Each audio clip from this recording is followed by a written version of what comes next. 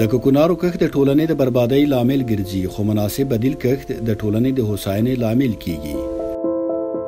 په بدیلو کښتونو ټولنې ته هوساینه وروبخي نشه یي توکي څرګند دښمن